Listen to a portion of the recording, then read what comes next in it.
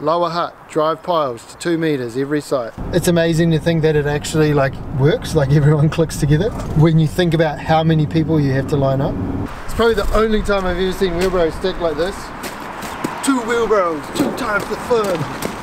uh, we actually probably should do some work now. Yo, Yo.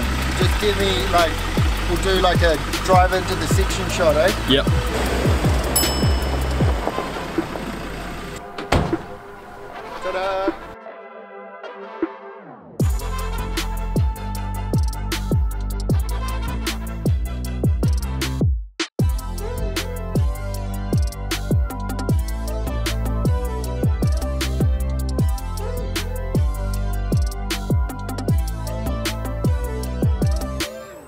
There used to be a house here. More energy.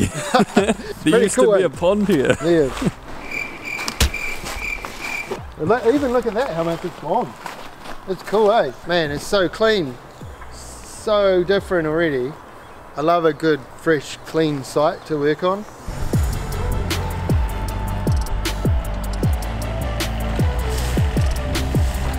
It's Thursday morning, we're on the Lower Hutt demo site. Well, I don't know if we can call it a demo site anymore.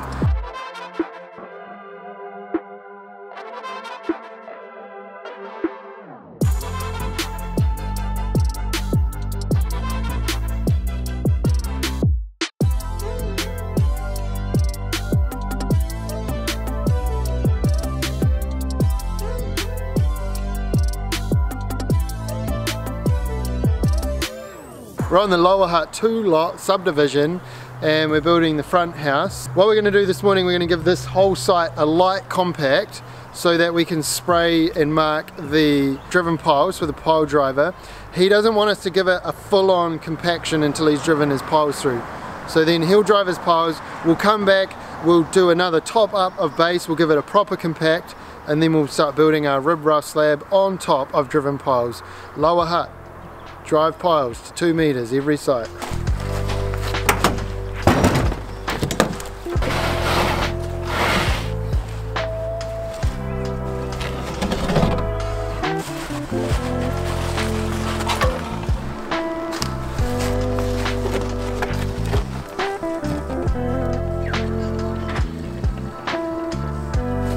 Like, give it a kick. So, emails, these are for you. And it's just like mowing the lawn. Just like, so we're gonna mow the lawn that way and then we mow the lawn that way.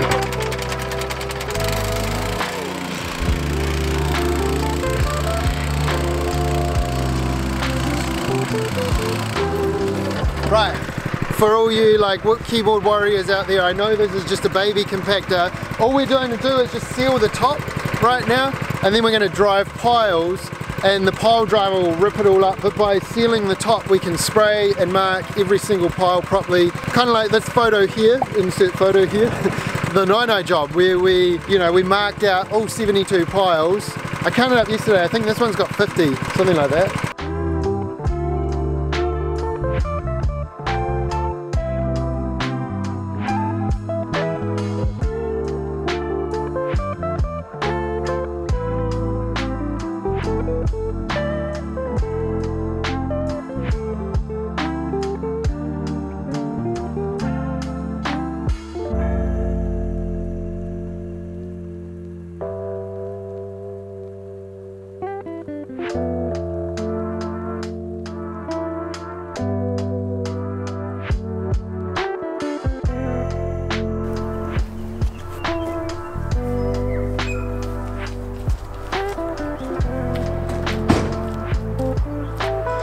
Happening? Uh, just sending, just we're just double checking something on the plan. Always real fun when you're looking at the plans on your phone. Surveys are here. We're going to do site set out, which is the very first job. We, you know, now we like actually can start as a builder.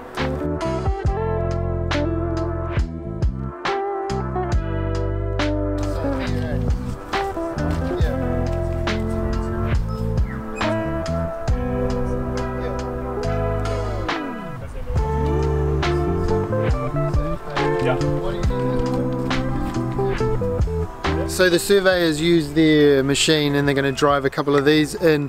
Um, we do what's called offset lines. We're going to do one line there and one line along the back and the line is a meter offset from where our finished slab is and that gives us a perfect right angle triangle. We'll then use that to set out the foundation. As you've seen in a couple of my videos, if all the boundary pegs are in place and we know they're accurate, technically the builder can do that themselves but I've started using these guys to do setup for me on every single job. Two reasons, number one, a lot of jobs are subdividables and so the lot sizes are changing and we just want to make sure we're getting everything in the right place. And number two, uh, it's just that peace of mind, you know, when you've got a surveyor telling you exactly where it is down to the millimeter, you know that it's going to be right.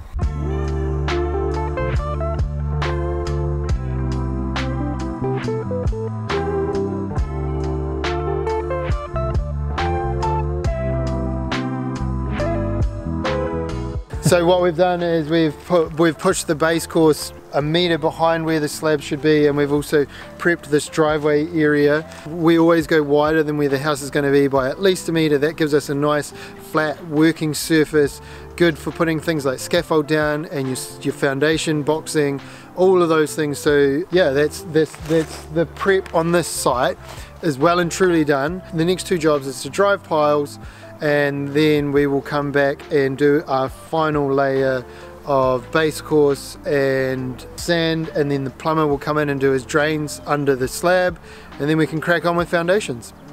Boom. Just like that, it all happens. So easy. So if you uh, if you want to keep following the progress of this build and all our other ones, go ahead, click subscribe, and keep uh, go ahead, click subscribe, and keep watching. Let's go.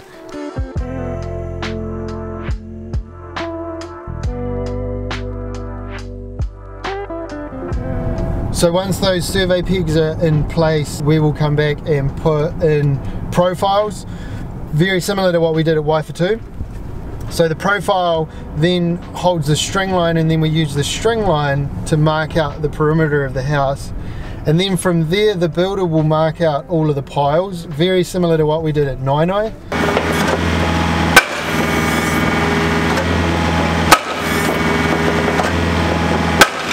the builder will work through that then the pile driver which is the same guys as Nino, Town and Country will come back and they will drive piles and then the builder will come back again and will chop off the piles to height and arrange that last layer of base course and then the plumber can come in very uh, sounds complicated eh yeah so many teams even before the slabs there yeah it's just kind of yeah that's a good snapshot of like how many people are involved and how you have to line all those people up. It's amazing to think that it actually like works, like everyone clicks together when you think about how many people you have to line up.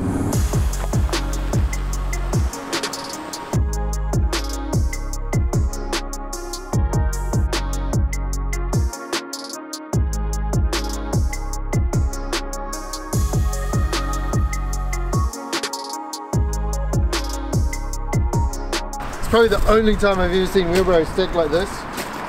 Two wheelbarrows, two times the fun.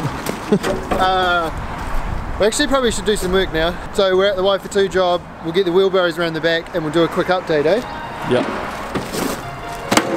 Two wheelbarrows, two times the fun. that one's going in the two minute video.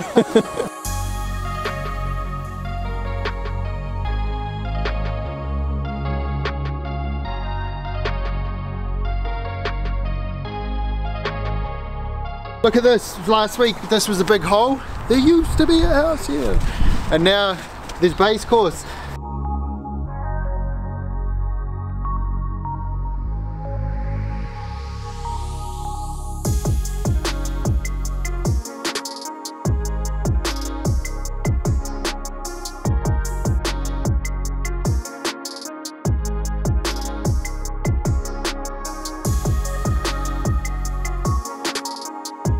Uh, this has been brought up to the bottom of slab height and we've started cutting the front lot as well. So next two things we're going to do on site is we're going to get the surveyors to come and give us some offset lines for the house and then we are also going to get the pile driver booked in, he's penciled in for two weeks away.